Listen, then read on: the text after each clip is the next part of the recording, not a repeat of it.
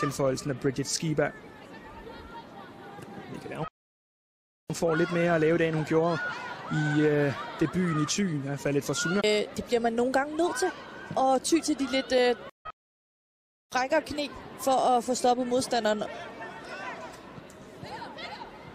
Og, og alligevel så er det HB Køge, der lige ved at øh, komme igennem til et øh, farligt angreb, hvor der kunne jeg godt tænke mig, at de, øh, de simpelthen placerer sig.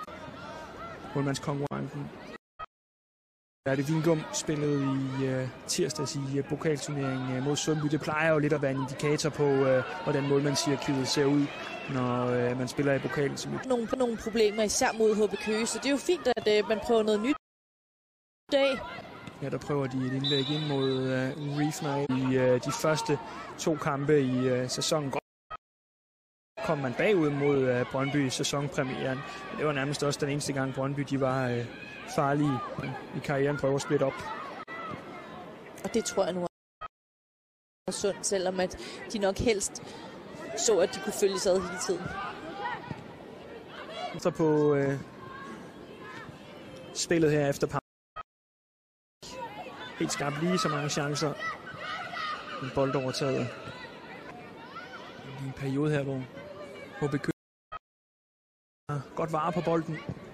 Ja, det er nogle gange noget af det, der skal til for ligesom at fjerne momentum for det andet. De kan blive, de kan blive ved med at fortsætte det her tryk, som de har gang i. Her kommer der et glimrende indlæg, og så er det. Situationen er ret godt dernede, øh, Nordheim. Og øh, Svendsen får lige situationen igen her.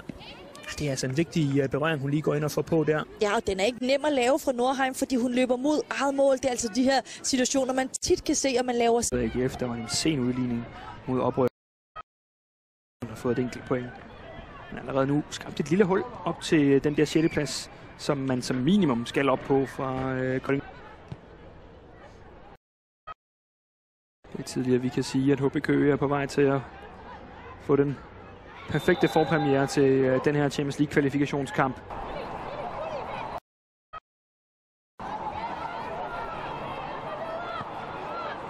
Igen.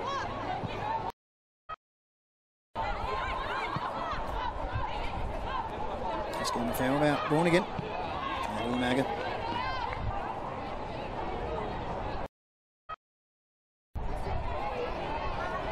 Og oh, det er desværre lidt for let, hun kommer forbi bag det Markusen, og så er der måske mulighed ind i HB Køgefeltet. Det er altså rigtig, rigtig fint. Godt pres, og det er jo lige præcis også det.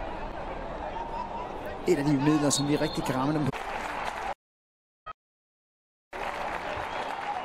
Så der er ingen tvivl om, at øh, for Juventus vedkommende, der gælder det for dem om at vise sig frem på den europæiske scene. Ikke komme ind til, ud til den, men øh, den går også forbi.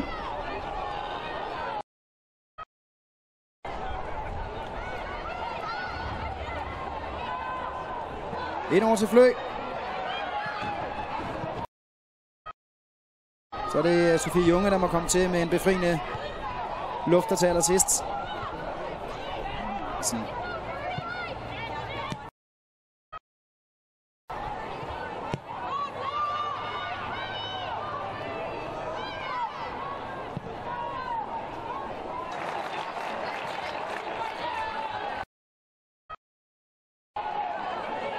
En færge, der lagde flere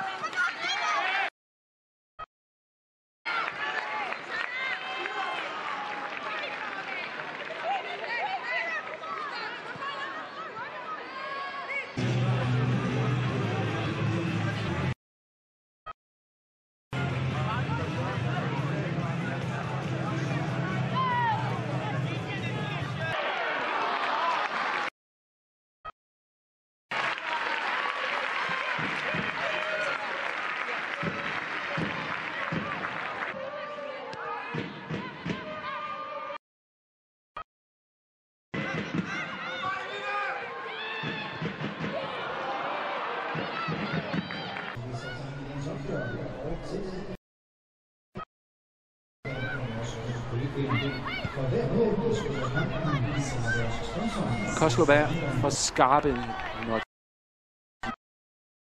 få gange skulle få lov til at komme frem i banen. Koslova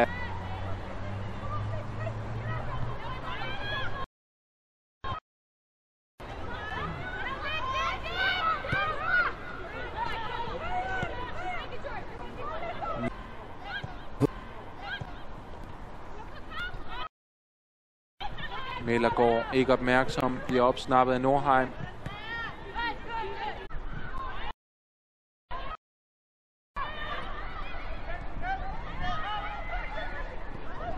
Bette Markusen går fint ind og tager den der bold. Så har bare vist sig at være noget, som man kommer rigtig langt. Ja.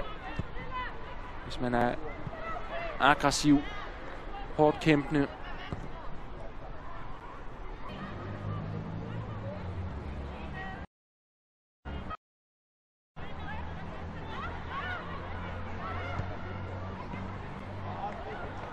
Ure. Ure.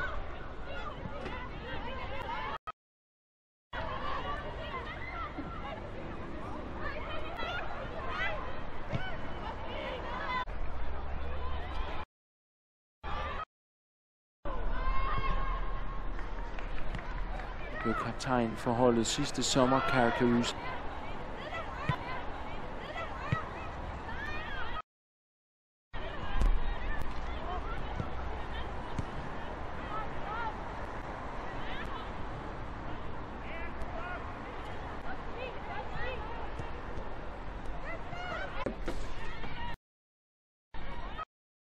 Så er vi ude over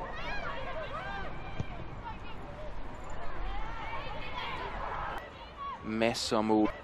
Masser af mål. Syv styks. Og måske vi ikke er færdige nu. Dybdal bliver afvist af en norsk klippe.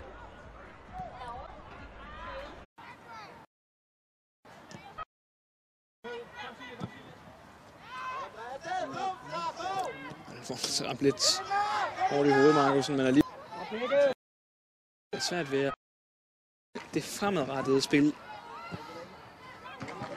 Altså en god bold nede fra Nordheim ud til uh, Agnete Markusen indlægget med højre.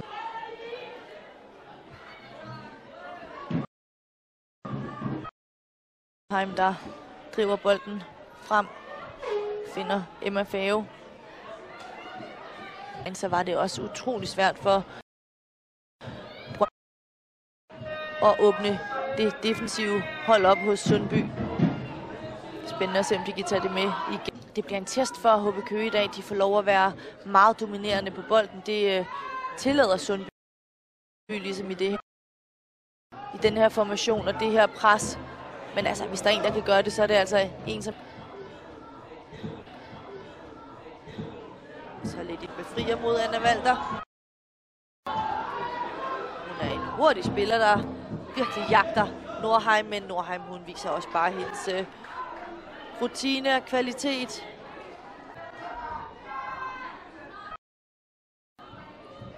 Anna Valter, der virkelig ligger og kæmper ene mand oppe foran hos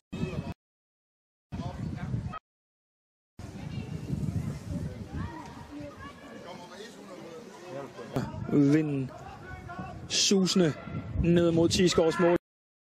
Her der mangler at blive Slutninger ind via stangen er det Andrea Nordheim, der fordobler føringen for HB Køge. Og at dumpe helt ned på øh, græsset omkring øh, det lille felt. Det først fik sig, der ikke får øh, at stå ordentligt væk. Og så er det selvfølgelig tilfældighedernes spil, som, som der jo øh, sagtens kan opstå i det her... Øh, i de her jo der var inde på en Ashley Riefner, som vi normalt er vant til at se i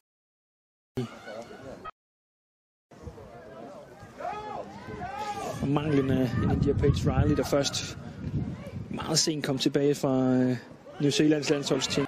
Den her fire bak kæde fra HB Køge. Mange overraskelser i, vi ved, Søren Randerbolds foretrukne, det er de fire, som er at finde i bagkæden i dag. Med god grund. Vigtigt, det er at slutte af med en sejr i bestræbelserne på et mesterskab. Den lander godt hos Fløge. Og Fløge! Og den bliver til 2-1. Ender hen hos Nordheim, som jeg ser det, der er let Til sidst et oplæg til Andrea Nordheim, som det ender med at blive. Og ja, hun holder sig altså på den rette Nordheims anden sæson. Nordheims anden sæsonmål.